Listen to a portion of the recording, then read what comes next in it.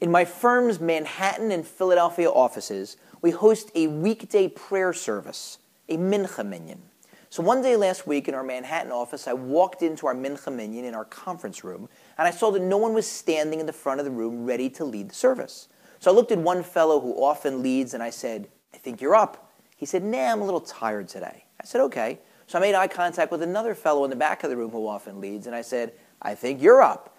And he started to make a face, like, I don't know. I said, All right, I know. You want an escort to the front of the room. So I started walking to the back of the room to get him when the first fellow said, Harry, what about you? Why don't we get to hear you lead the service?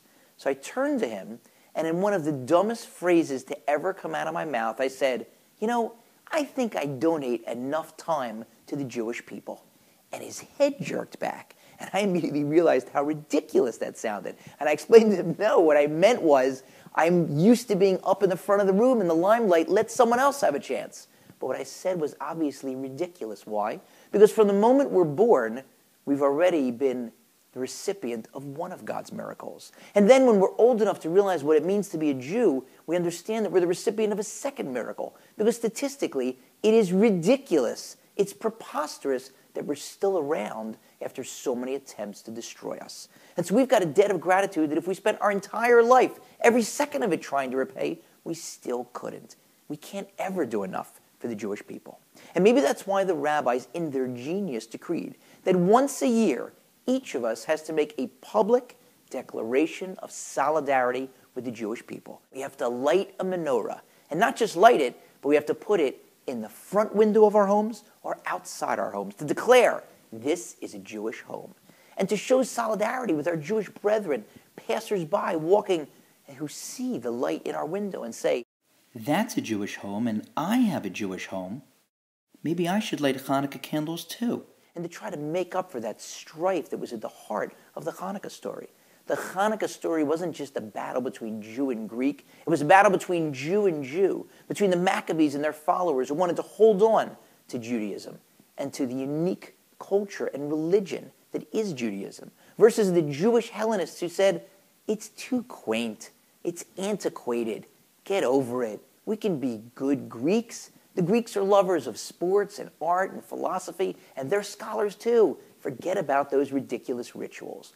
And the Maccabees fought against their brethren and against the Greeks, and they won. And that's a fight that we have to keep fighting in every generation if we're going to make sure that there will be another generation of Jews. One of the rabbis with whom I studied when I was growing up likes to tell the story of how he received a massive dose of inspiration when he was a teenager. His father took him to hear the chief rabbi of Palestine speak.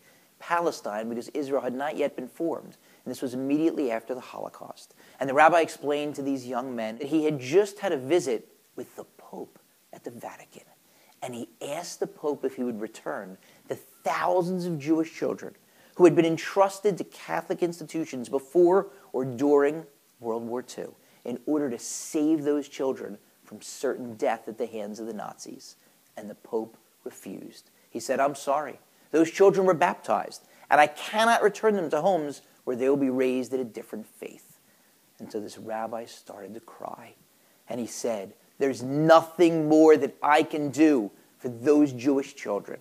But I ask each of you young men, what are you going to do to help rebuild the Jewish people? And maybe that's yet another reason why the Hanukkah story always occurs during the story in the Torah of Joseph, of Yosef, who also kept asking himself that question What can I do? Or what more can I do for the Jewish people? He spent time transferring Egyptians from city to city. Why? Because he knew that his brothers, the same brothers who wanted to kill him and who had sold him as a slave, were eventually going to make their way down to Egypt. And those brothers were the Jewish people. And he didn't want them to feel uncomfortable. He didn't want them to feel like strangers, so he moved everybody around. So everybody would be new to their neighborhood. So this Hanukkah, when we light our candles, let's each of us ask ourselves the following questions Am I doing enough for Jewish solidarity? Am I doing enough for Jewish continuity? Am I doing enough for the Jewish people? Happy Hanukkah.